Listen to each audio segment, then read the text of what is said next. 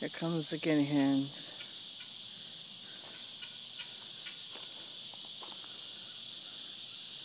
Where are they? There's one.